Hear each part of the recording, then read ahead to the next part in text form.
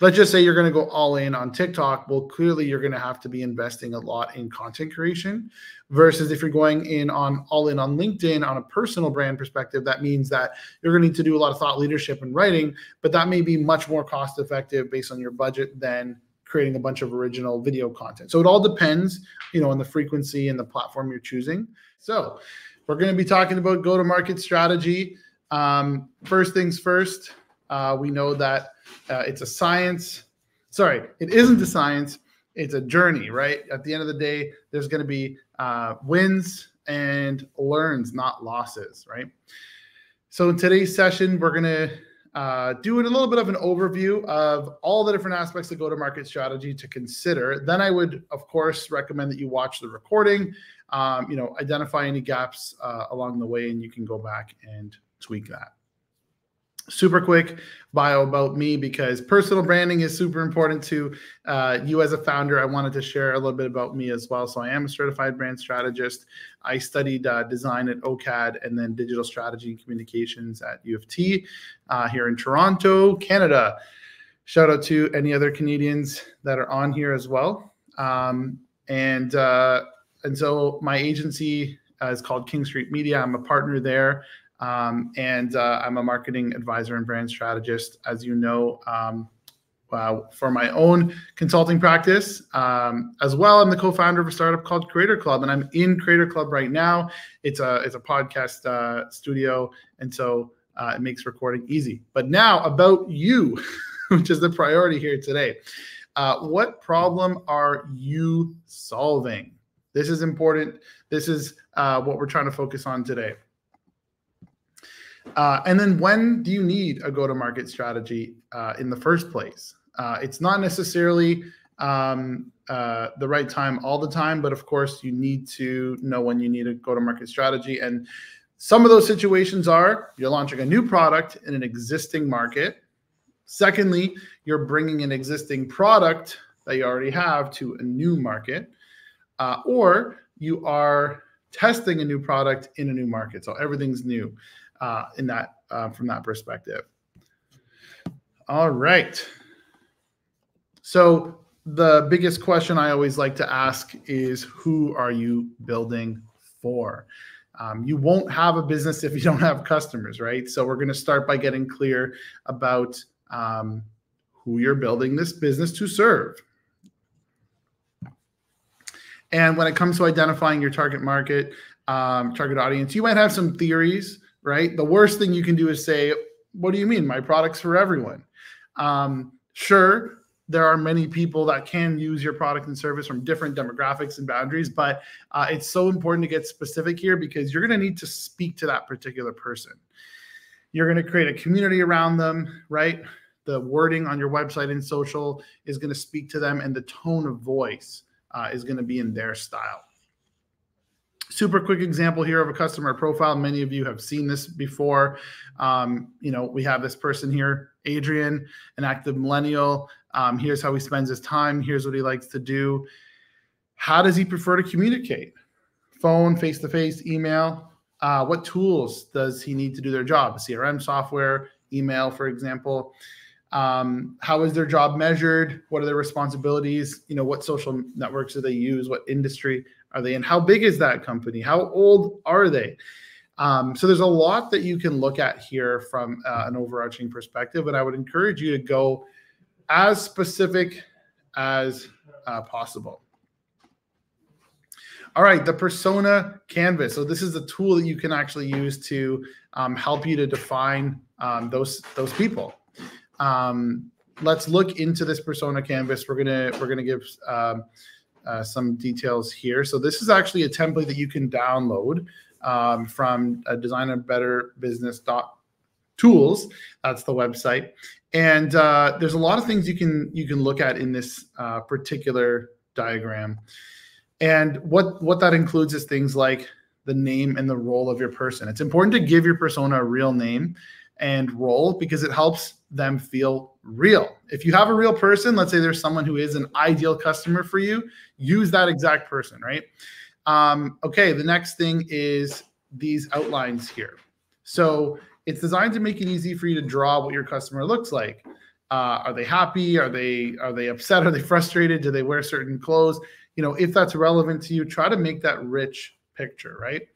Uh, nextly, you're going to identify the need. Um, what do they really want? What decisions are they making, right? So the middle, in, in the middle here, number three is the need. Then you're going to look at what are some of the positive things going on in their life, right? You want to identify, um, you know, put yourself into their actual role, whether it's their work life or their personal life. Next is opportunities. So, what are some positive opportunities that they uh, experience? Uh, what what uh, opportunities do they have at work or uh, personally? What are some of their hopes for the future? This is a good one to be able to chime into hopes. Um, that's something really deep that you can uh, you can utilize. And then the negative trend. So what's going on? What are some of the challenges? Um, what are some of the headaches that they're experiencing? Uh, what are some of the fears? Right. So all of these you're going to be able to really build out, and and hopefully you can have some empathy there for your consumer uh, at the end of the day. Okay. Um, looking at this, uh, typically when you're going to do something, let's say running a, a Facebook ad, you're going to have uh, demographics, right? Age, gender, you know, sometimes their their uh, relationship status, but you need to go a lot more in depth here as well to really get to the root of this and decide how you're going to market. And that includes not just demographics, but psychographics, right? So looking at the psychographics, those are examples of things that you know they care about. What do they really do? What what are their wants? They want to become you know the CEO of a sustainable business, for example. They run 5K every morning. They spend a lot of time on Instagram looking at healthy recipes. They enjoy traveling solo. So all of these things are going to determine how they are thinking, right? And that includes things like their opinions, things they value, very important to branding as well. Okay. Um, what makes up those those psychographic factors? Again, it's what are they motivated by, right? What are they interested in? What are their beliefs? What are some of the lifestyle choices that they've made? Um, looking into all of this can really help uh, at the end of the day. Uh, okay. Someone, uh, someone there just pointed out that they can't see the slides. Uh, can you just confirm that the rest of the people can see the slides? Yes, thank you. Okay, perfect. Thank you very much. Okay, so now that we've chatted a little bit about the personas, let's talk about positioning. Um, I personally like to take a brand first approach. So let's take a dive into um, what that looks like from a positioning perspective. We'll talk about branding uh, after this, but good positioning for your startup will answer these questions. What does your company do for me? As a customer. And why does your company exist and how is it different right? Um, okay. That's a little bit about positioning. Those are the first two questions i recommend you ask. And of course you're going to want to identify these items to outline the fundamental value prop at the end of the day that your product or service provides to your customer. So, what are some of those things that go into positioning? Of course, the first thing we talked about target customer or the market. Next is the compelling reason to buy. Next, after that, is the product's placement within an, either the new or the existing category. And then you're going to look at what is that key benefit that directly addresses that compelling reason to buy. Uh, next, you're going to think about the primary alternative source, which is like a competitor. It doesn't mean it's the exact same tool. So if you're building an app, it doesn't mean the competitor is an app, but what is also providing that same benefit right now? And then lastly, what is a key difference or point of differentiation? That's so important when it comes to positioning because we're not trying, we're not out here trying to position ourselves the same as, as everyone else. So once you've thought about this, this is not something you're going to be able to complete, you know, immediately on this session, but think deeply about your positioning statement, okay? Your positioning statement explains who you are, what you offer, who it's for, and why it's important and compelling. So this is a this is just one of many different templates you can use in order to complete that. So for your target market, who, which is their need, your brand name, you insert that here, of course. You provide, and then you list what is that main benefit you provide that differentiate your offering from the competitors, right? Because, and that's the reason why your target market should believe your differentiation statement. Okay. So that's a lot of things, but it's for who provides because. Um, an example here again, not every brand follows it purpose, uh, you know, exactly, but Amazon, it's for consumers who want to purchase a wide range of products online with quick delivery.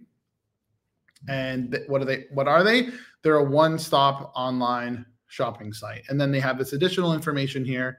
You know, Amazon uh, sets itself apart from other online retailers with its customer obsession, passion for innovation, and commitment to operational excellence. Those are three of the differentiators at the end of the statement.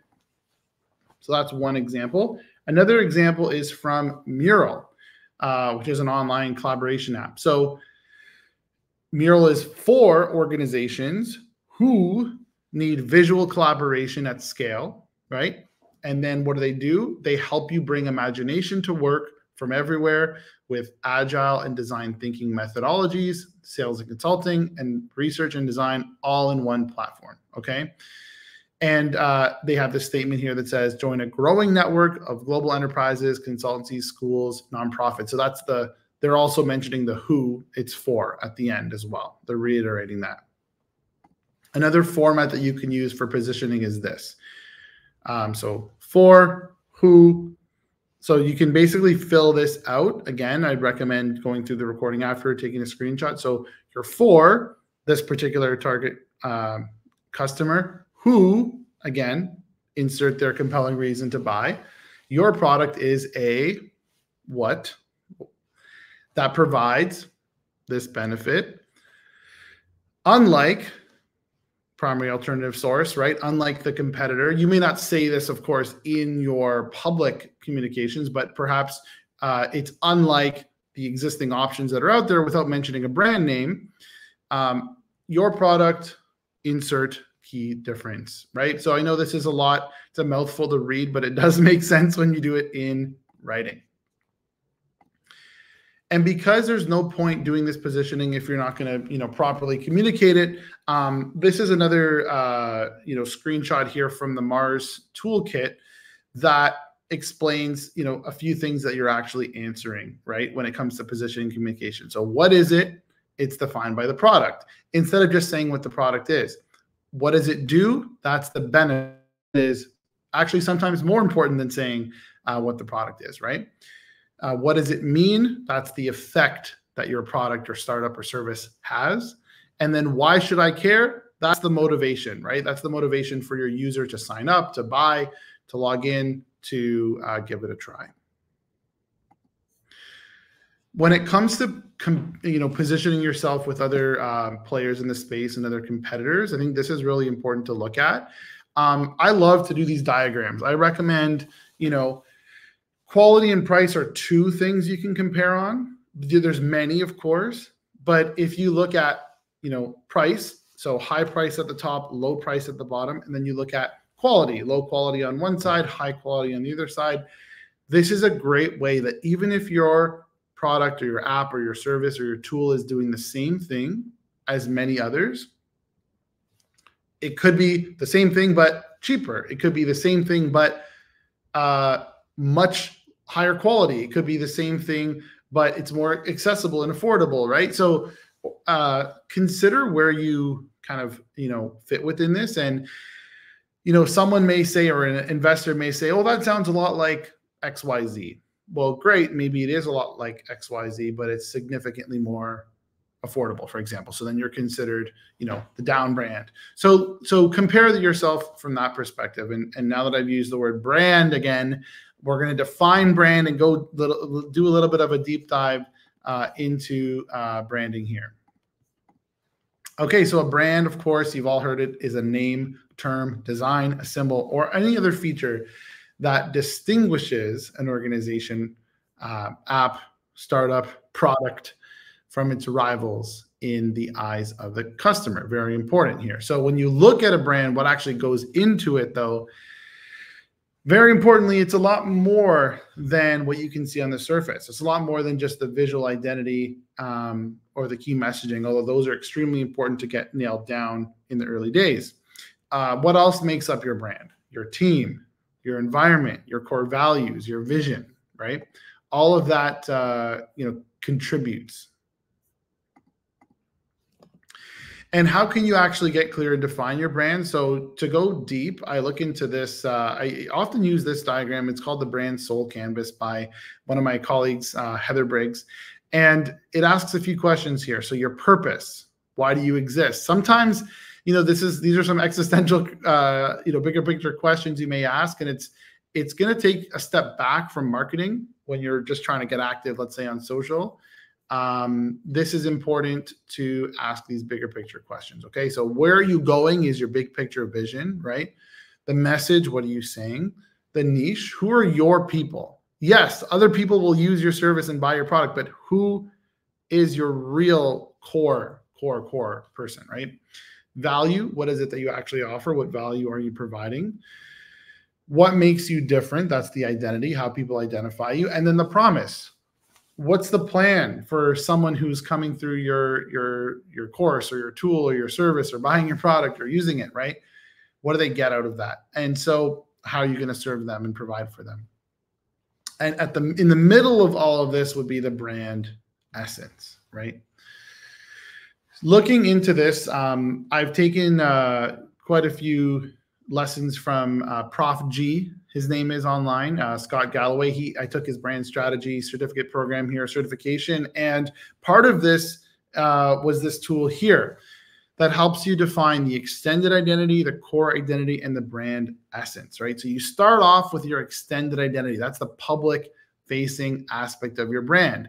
And sometimes it's a person, sometimes it's a symbol. It could be an organization or an institution or an actual product. And it's important to note that, you know, some some companies and some apps and tools you know people only know the product but others um, they know the founder right? Or maybe there's a celebrity ambassador or endorsement right? Or maybe they don't think of it as a particular um, app or tool but they think of the overarching institution or organization that provides it. So think about that. That may evolve over time. The next is the core identity. That's the uh, important elements of the brand that you know just fall under the extended identity. So it should be some something that's pretty substantial and timeless. And then lastly is this brand essence. So what does the brand stand for? Answering some of the questions that we talked about earlier. The one thing that should come to mind when we think of the brand, that's that like quick statement or that quick um, you know, uh, reaction that someone gives when they think about your brand. Okay. And this needs to obviously appeal to the the need that your product specifically answers now that we know all of that deep stuff what does the brand actually look like at the end of the day right only once you're clear then you can go and begin the design process but you know you may want to work with a designer but providing a designer with all of the stuff that we just chatted about from more of a brand strategy approach can help that designer to really accurately um, create something that's going to be unique and representative. So the brand is that overarching perceived, you know, identity. Then you've got the identity, which is the visual aspects that inform your brand, and then you have the logo, which identifies the business in the simplest form. Obviously, we know a lot of examples of this, but the difference between you know brand, branding, identity, and logo um, are um, you know they're they're they're defined here. Um, a lot of times people just mention brand or logo and they, they are referring to the whole thing. When you think about visual identity design as a whole, it plays into um, it plays into a lot more than you know just your um, uh, logo itself, but it's also things like the colors, the fonts, the imageries, the icons. You, we all know that something like an international startup like Airbnb, for example, that icon is Airbnb. It doesn't say Airbnb, but it is, right? Um, same thing with Spotify. If we remove the word Spotify, we know that that is in fact Spotify. So um, this is a really important thing to consider when you're eventually going to, you know, eliminate certain aspects of your brand and refine it. But I will say this: do don't just expect someone to know, um, you know, just from an icon what your brand is. So at the beginning, you know, you should definitely still consider starting off including the name. What's funny about that though is as you start to really solidify your colors and fonts and symbols and icons, people can tell what your brand is even if you swap out the name. So for these major global brands here, you know, we can tell that even though the names are not there, we know that, you know, this blue one um, under the burger is Gap, for example, right? Or we know that, um, you know, the one in the very right is is Pfizer, right? So um, the word NFT is being used here as a, as a, default placement, but you can tell, you know, there's Netflix, there's NASA, there's Corona, right? There's uh, all of these particular uh, well-known brands, and that just shows you that the identity is uh, is more than just that, you know, initial um, logo. And that's where the style guide comes in. So right now, if you're, let's just say you're a solo founder, you have a co-founder, you don't have a huge team yet, you might not think it's important to have a brand style guide. But I tell you this, the more um, organizations you partner with, the more people you start working with, collaborating with, team members, etc. You're gonna you're gonna need um, a brand guideline that can be applied whether you're building your product whether you're doing marketing decks whether you're doing you know again partnerships videos so, um, what does that look like from a system perspective? So, Uber has this system with nine core elements, for example, on the right hand side. So, it has a logo, it has their colors, which in this case are black, white, and that accent blue. Um, it has composition, it has how the icons work, it has an illustration style, it has a motion style, it has um, photography style, has a tone of voice it has typography, right? So all of these are, are elements, you know, that form Uber's visual identity, for example. And then um, there's a lot more guidelines than this because they're, you know, a massive global startup that has a lot of touch points. However, um, you know, all of this kind of translates into an easy to use visual identity. HubSpot has a template here um, it has a brand style guide template that you can use. I'm not going to go through every single component of that, um, but I'm just going to quickly um, skim through some of the things that are in there. So you know, you know, things that you would put in your guideline for your team to use or partners to use, right? Um, name, purpose, values, brand promise, brand personality, right? Um, the visual foundation is going to include the logo and the spacing requirements, what not, how not to use the logo, how not to modify things. Um, you know, the secondary logo or icon you might have, you know, your full color palette, all of this stuff here, right? So um, when and why to use certain colors, maybe they represent certain products or certain, um, you know, niche audiences. Um, how you're going to be accessible, what fonts are you using, you know, what are the alternatives for web fonts if you have a special font that can't be used elsewhere. So there's all kinds of stuff that you can include. Now, again, you don't have to make this from scratch. By, by all means, you can hire a branding uh, person to do so, but um, you're going to still want to invest in this in order to then make sure that the public identifies your brand with any of those things, right? When they see a certain photo, they see a certain visual element, they know it's your brand, your startup. That's the reason for all of this.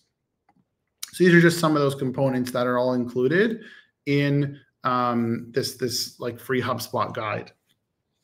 And uh, one of those important aspects is the brand voice, which I think, regardless of the situation you're in, um, you know, whether you're writing a blog post, a caption, a landing page, you know, an email, social media, whatever it is, it should be that same um, post. And yes, for everyone asking, the slides and the recording will uh, the, recording will be made available with all the slides. Yes.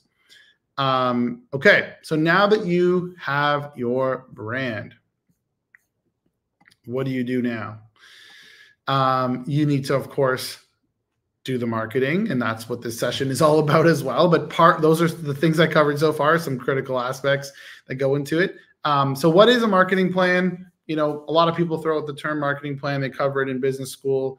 uh, even in high school business classes. But really, it's this it's this roadmap to strategically organize, execute, and track your whole marketing strategy over a period of time. Could be a marketing plan for the year, could be a marketing plan for the quarter.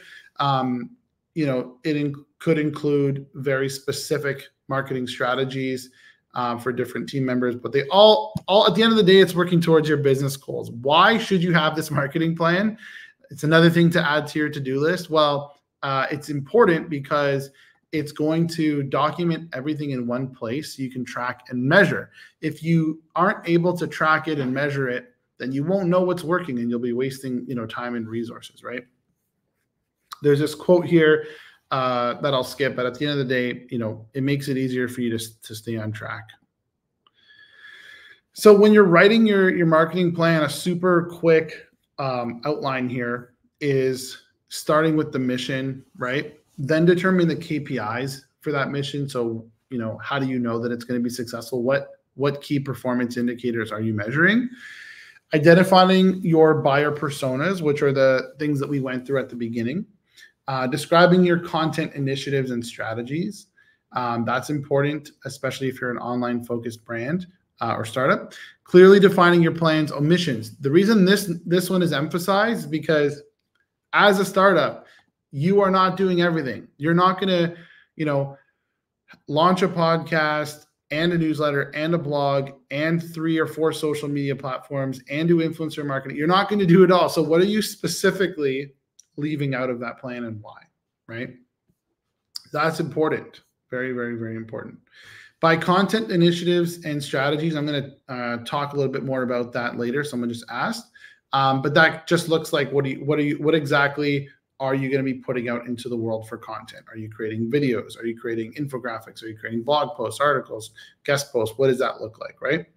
Next is, of course, defining the marketing budget on a, I would recommend doing it on a, a quarterly and annual basis, but you know, you will need to know because it might vary from month to month, but at least if you have an average, that's fine. Stick with that.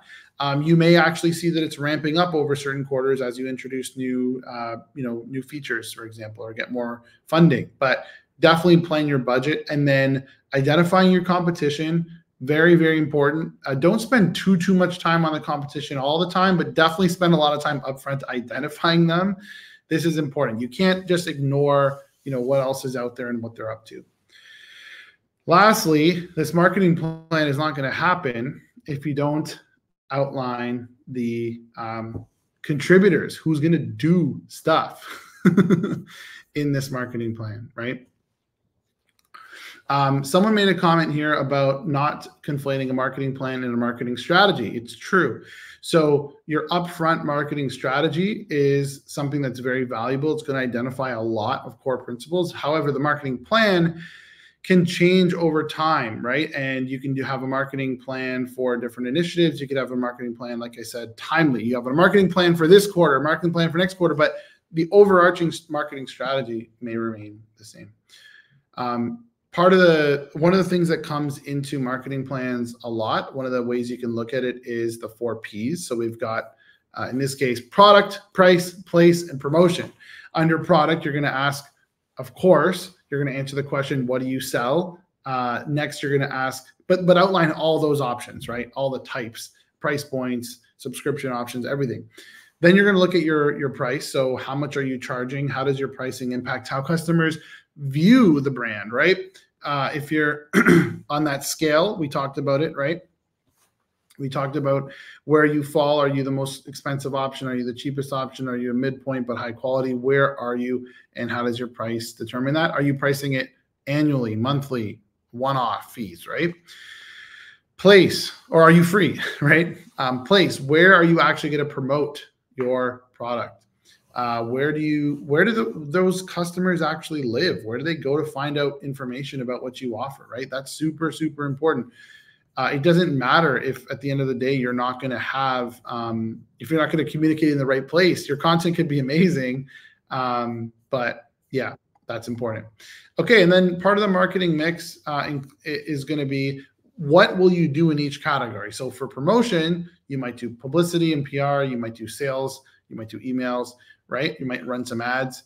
Um, I think I'm going to skip this video here, but I can send it out uh, afterwards uh, just for time purposes. But spend time developing your product and pricing, right?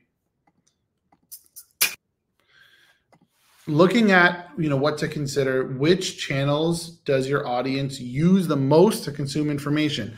A lot of times, you know, people start off and just uh, launch 20 different uh, you know social media profiles and accounts and blogs and directories but where are those customers first? Where is that target customer spending most of their time?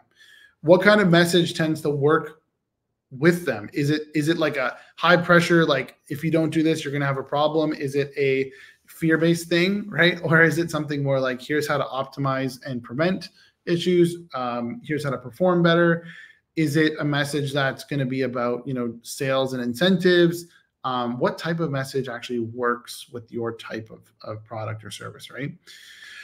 And then what is the ideal period for promoting your product? Does that mean you're going to be promoting, you know, all the time? Is it a three month buying cycle because you're selling to businesses that need long time to make decisions? Or is it something where, you know, it's a very short marketing cycle where someone needs to see your ad three times and they're in, right, over the course of a, a week um, or instantaneously? So think of that. That's a major factor.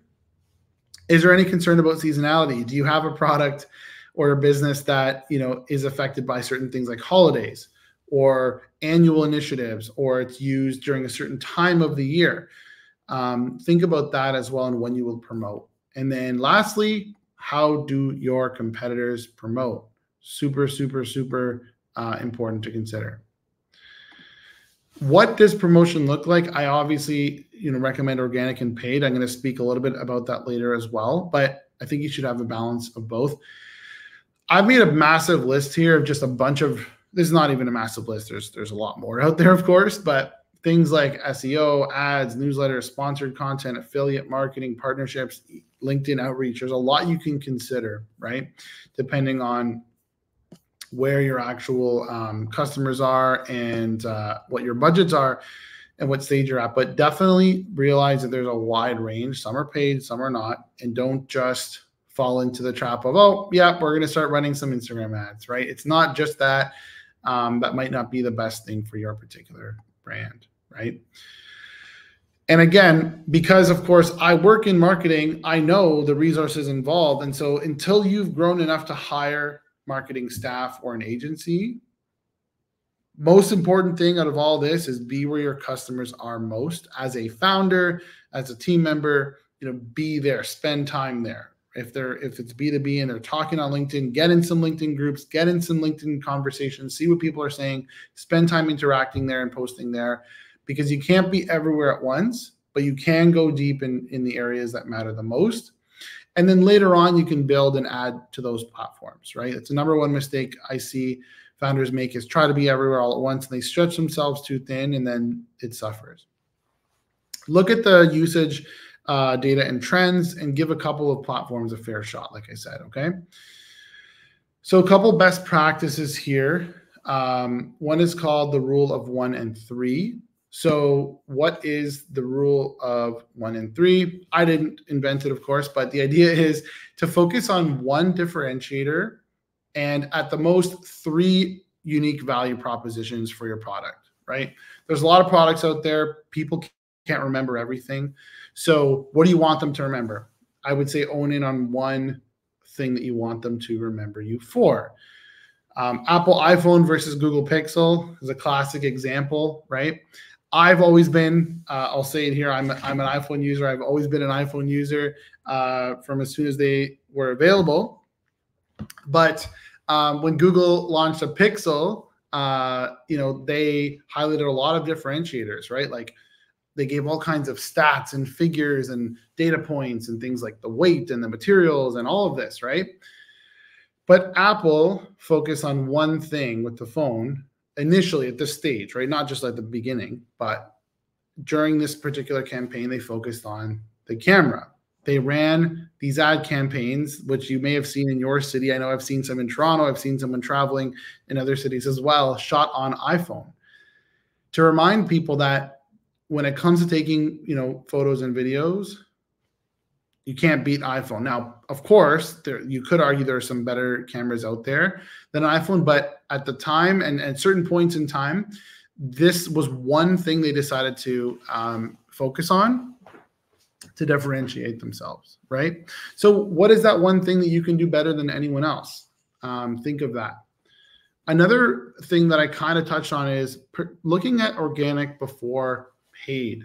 So, perhaps starting with organic uh, and that that includes some outreach, of course. It doesn't include just posting to a, a, social media account with zero followers, right? But thinking of some organic methods and then amplifying that with paid, right? When you're building out your assets, uh, what can you start with? Organic could look like social. It could look like a blog.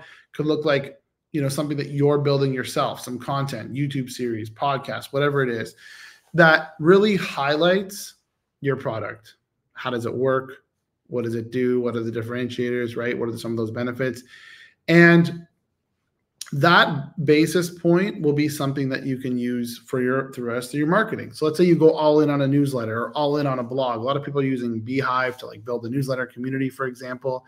Um, there's a lot of other um, tools you can use as well. Then from there, you can streamline that into your other assets your other your other social. The example I have up here, this uh, I got from a, a, great video that talked about this as well, was um, when Ally Bank launched. They focus on offering a really great savings rate. They announced it on their organic social, and then later on they followed up with paid. But their message became consistent across all their assets. So you can start with that one really well written thing, and your the rest of your assets will be easy to create.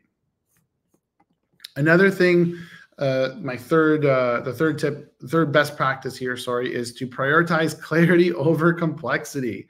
Um, be the best at explaining, you know, what your industry is, what the problem is, and what you do. And from this perspective, people will want to learn from you, right? When people learn from you, they trust, they build trust with you, and they want to eventually become a customer.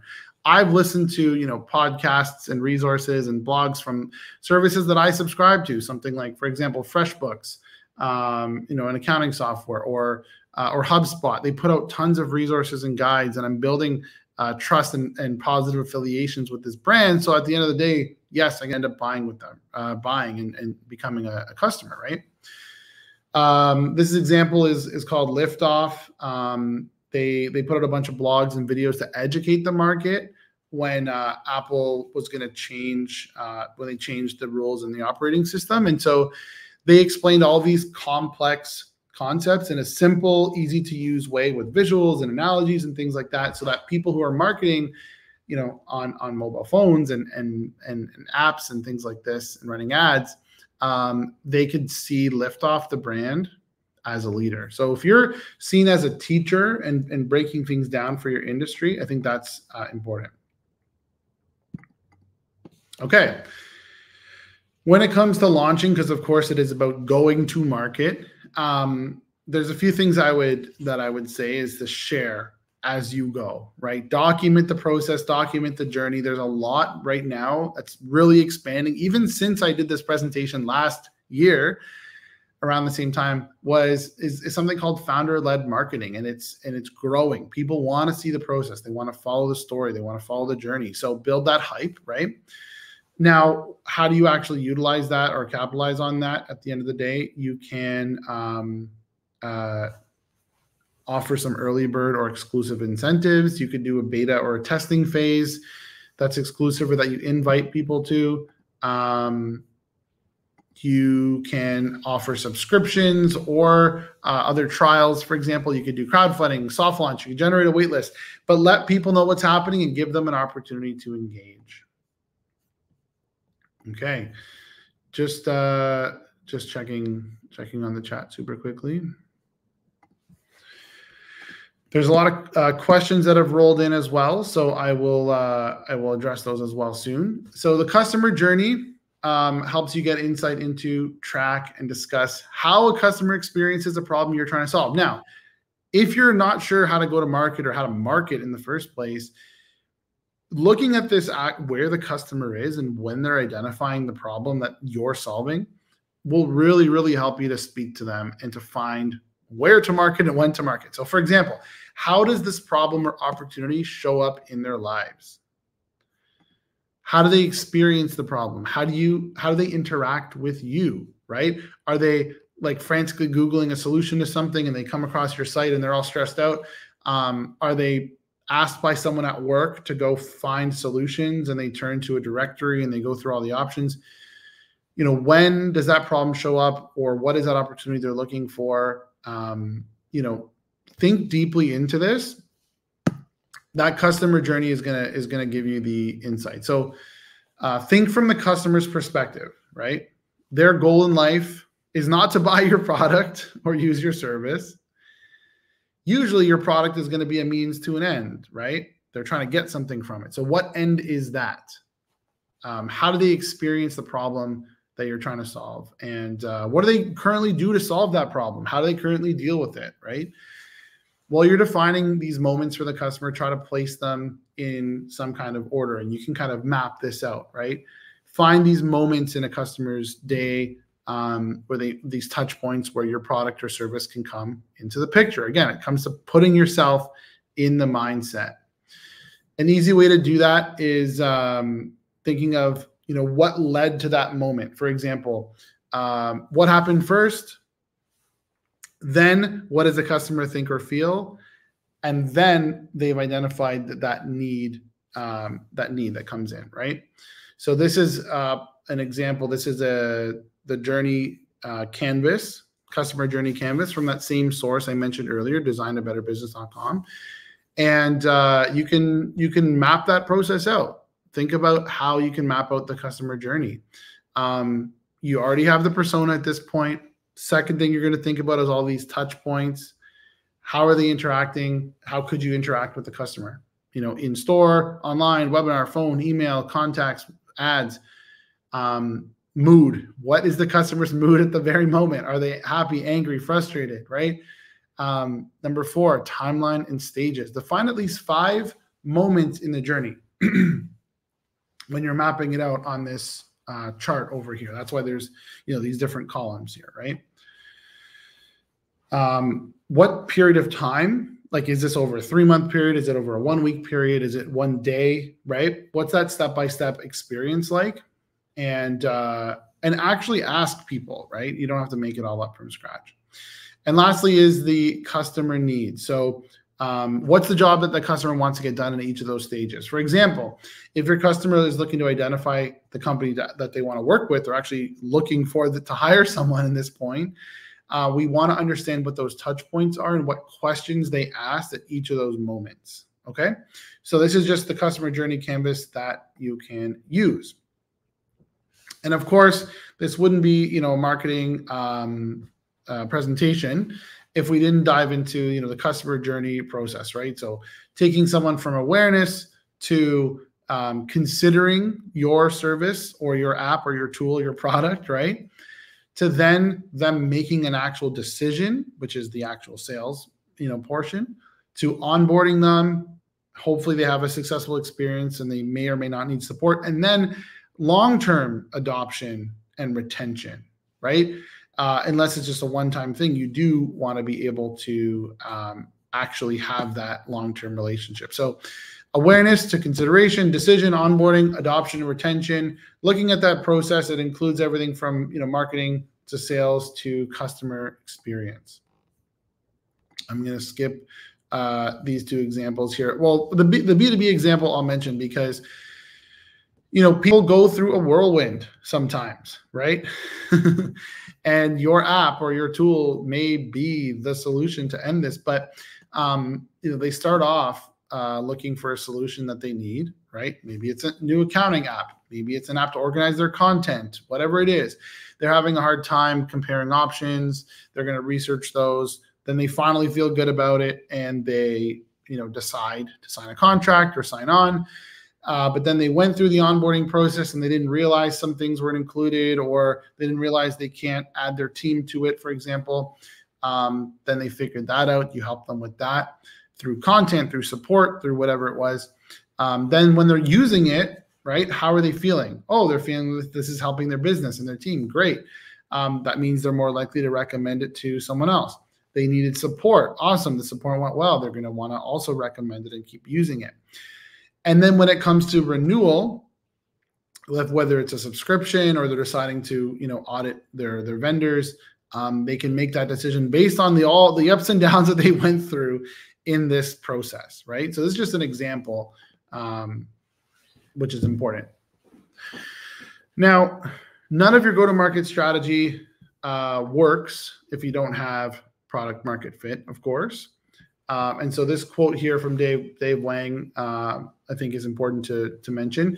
The secret to finding market fit is about maximizing the number of product iterations with the limited resources you have.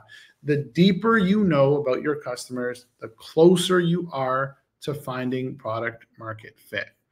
Because you don't have an unlimited budget and unlimited time, um, that's important to to consider.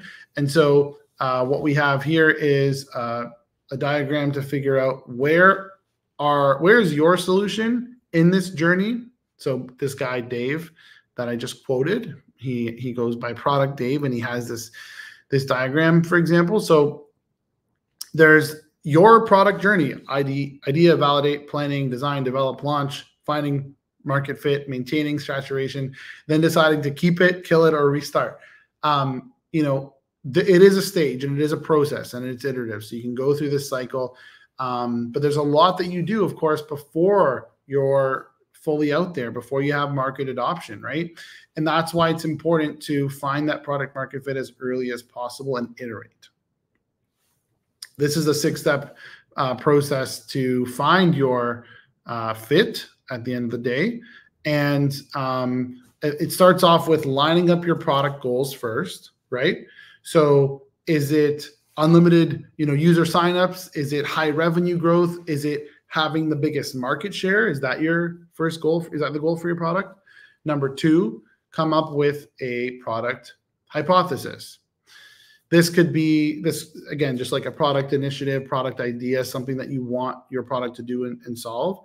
Number three, you're going to uh, prioritize the product hypothesis by discussing with your team selecting which ones you're actually going to get customer feedback on because there's multiple ways you can approach it, right? Which ones you're going to actually try and get customer feedback on. Step four is getting feedback from five customers on the product hypothesis. This should give you a good indication of whether the idea is worth pursuing further or not, right?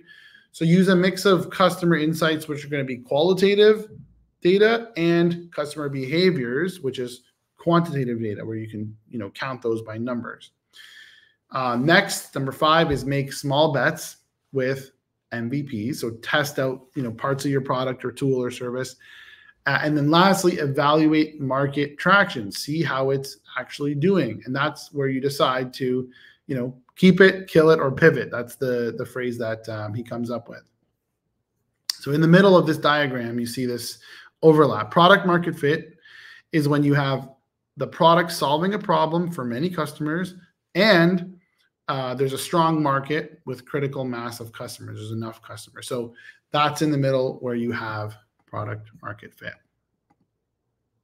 It's a lot, obviously. There's a ton to do. I'm going to spend some time um, answering some questions. Just want you to, I just want to acknowledge, of course, that marketing and testing and iteration is so important.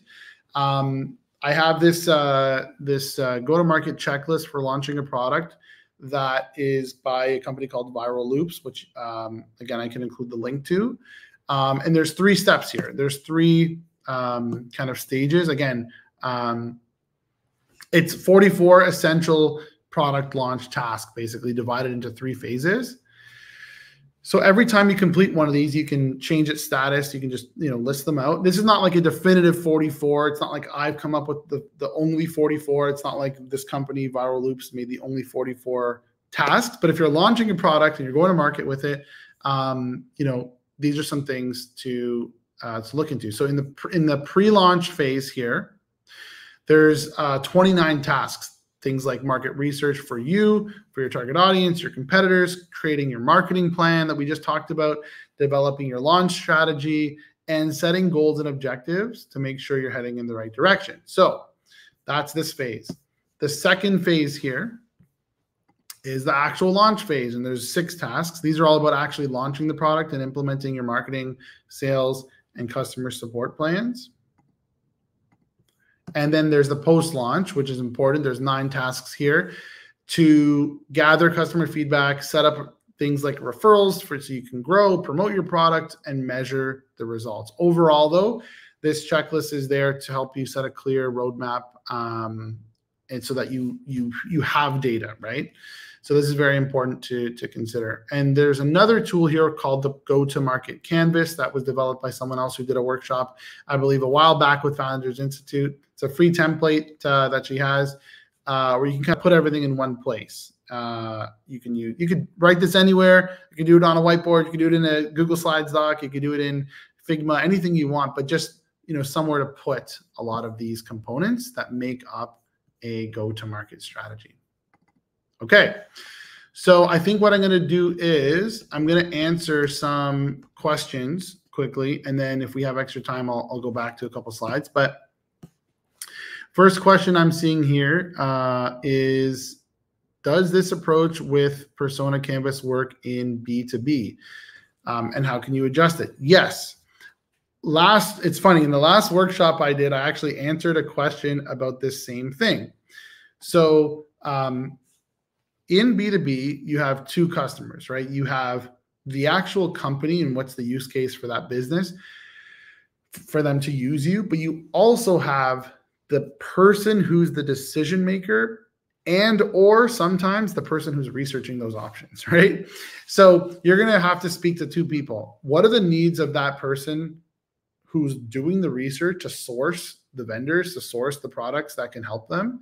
And then who's actually deciding if you focus on the person who's looking you want to make it easy for them to identify quickly that this is a fit right if you're speaking to the end buyer you may be speaking about different benefits such as you know price points and renewals and contracts and things like this.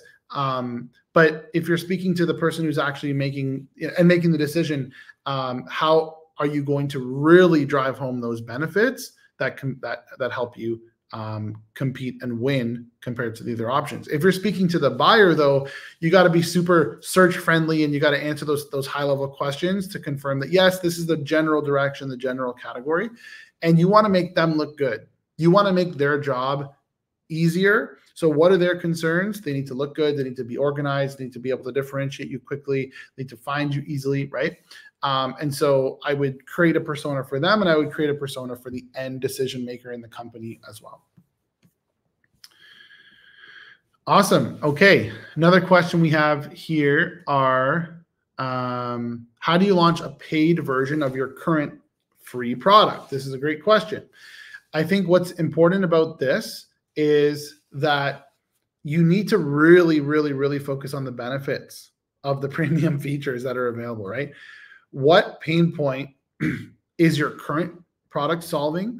And then does it solve it better with the paid version? Does it solve a different related problem, right? Like what is the paid version actually doing that enhances that? And that's where, you know, you can really point out the those additional pain points that it solves and um, how do you actually launch it? You you go ahead and communicate those benefits and you continuously remind people based on usage. So if you have a way of categorizing people let's just say that you know you have a video app and it allows you to record 10 minutes but for premium users you can record you know 30 minutes. Well great.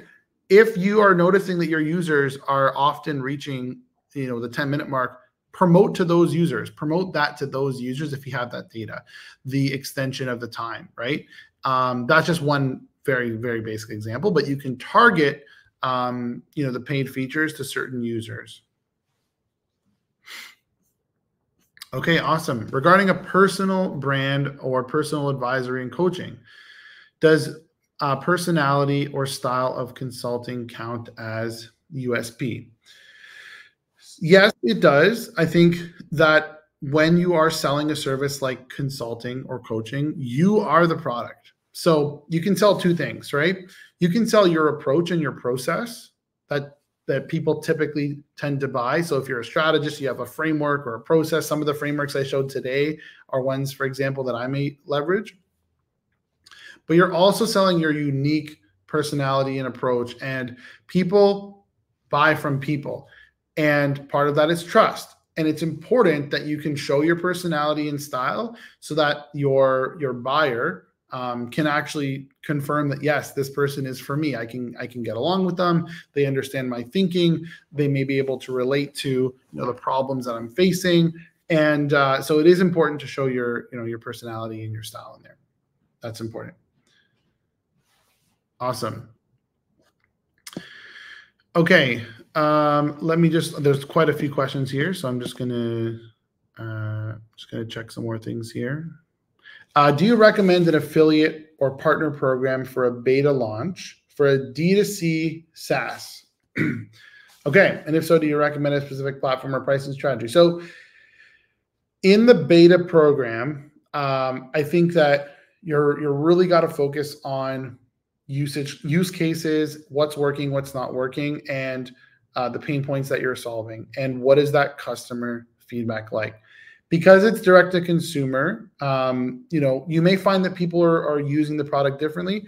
I think that you need to find and prove retention before you start offering an affiliate or partner program.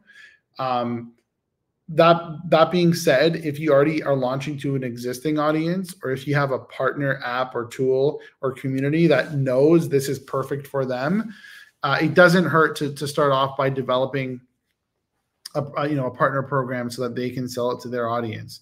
Some of the best you know launches come out because they, it's pre-paired with an ambassador let's say right but it's a risk of course if you haven't really done uh, you know a lot of trials. I guess in your alpha phase if you have a lot of great feedback and everything's working smoothly amazing.